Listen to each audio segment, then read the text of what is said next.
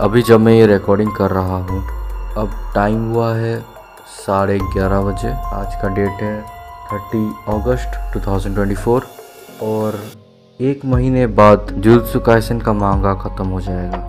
या काइसन मांगा का लास्ट चैप्टर 30 सितंबर 2024 को रिलीज़ होने वाला है।